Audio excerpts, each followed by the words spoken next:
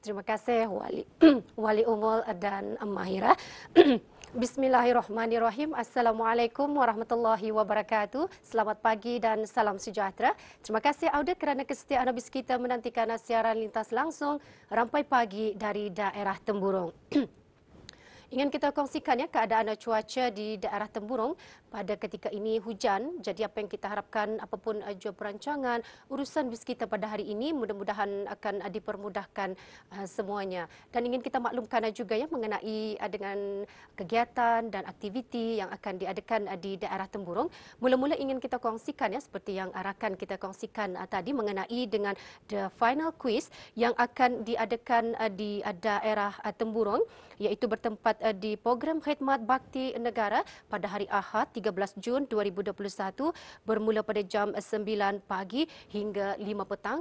Jadi kepada adik-adik petani di luar sana mungkin ada bakat yang terpendam, uh, jangan lupa untuk datang untuk mengikuti uji bakat yang akan uh, diadakan bermula pada jam 9 pagi hingga 5 petang bertempat uh, di program khidmat bakti negara dan maklumat seterusnya mengenai dengan bahagian rancangan radio melalui Nur Islam FM, Radio Brunei RTB kini membukakan peluang bagi menyertai pertandingan tausyih yang akan diadakan buat kali ke-12 kepada bis kita yang berkeinginan ya untuk mendapatkan borang penyertaan bolehlah mendapatkan di kaunter penyambut tetamu kompleks RTB Sungai Akar, bangunan RTB Kuala Belait, Tutong dan Temburong. Tarikh tutup mengembalikan borang penyertaan adalah pada hari Sabtu 3 Julai 2021 sebelum jam 2 petang. Ya Auda itu dia maklumat semasa yang dapat kita kongsikan bersama dengan Auda dan seterusnya apa kata kita terus saja menyaksikan bahan yang telah pun disediakan oleh rakan tugas kita Nahdlatul Ayumi mengenai dengan kempen derma darah yang baru-baru ini telah pun diadakan di Hospital Pengiran Isteri Hajah Mariam. Kita saksikan bersama.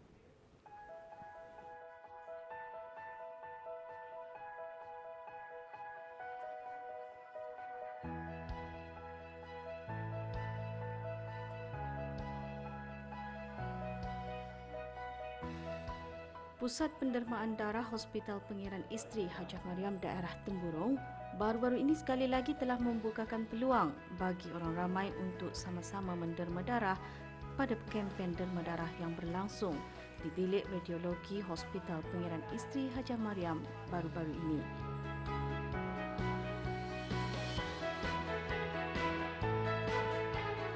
Kempen tersebut diadakan selama sehari bermula dari jam 9 pagi hingga 3 petang yang bertujuan untuk membantu menambahkan tabung darah bagi keperluan mereka yang memerlukannya. Di samping bagi membantu, pusat berkenaan memenuhi misi bagi memastikan ketersediaan bekalan darah yang selamat dan boleh dipercayai.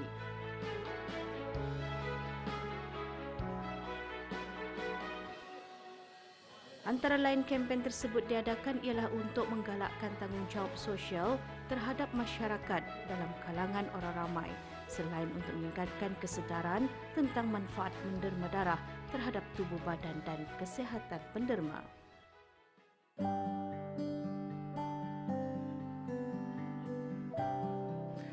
Tujuan kempen uh, der, derma darah ini diadakan adalah untuk uh, menambah stok darah di Makmal Hospital Pengiran Isteri Hajah Mariam uh, dan memastikan makmal kami adalah self-sufficient dalam um, penyimpanan stok darah. Dengan cara ini kami juga membantu memastikan stok darah di hospital uh, di pusat pendermaan uh, darah di Hospital Raja Isteri Pangeran Anak Saleha adalah mencukupi. Okay.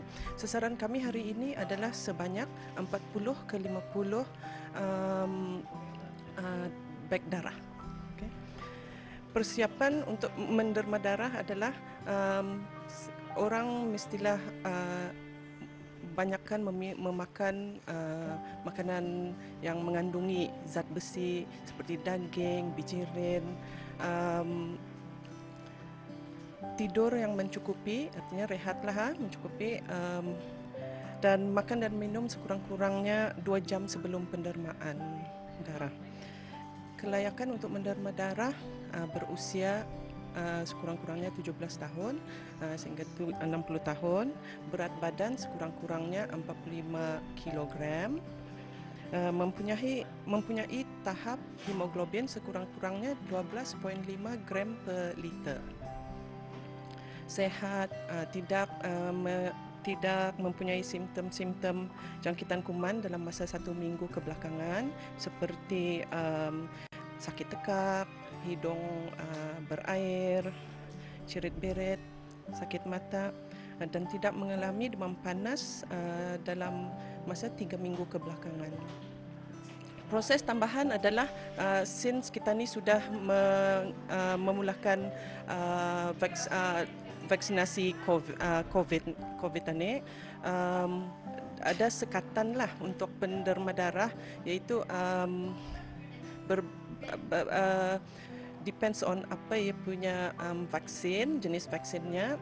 So uh, kalau ada side effects, generally um, pendermaan darah akan ditunda empat minggu selepas sembuh daripada um, side effect daripada kesan sampingan. Okay. Uh, tips atau penjagaan selepas pendermaan um, minum lebih banyak air di harian ini dan juga esok bagi menggantikan cecair uh, dalam tubuh badan kita ni ha, selepas menderma. Okay. Um, jangan mengangkat berat di, uh, di tangan yang uh, bakas menderma darah um, dan juga jangan melakukan aktiviti-aktiviti yang lasak lah dalam masa 24 jam selepas menderma darah.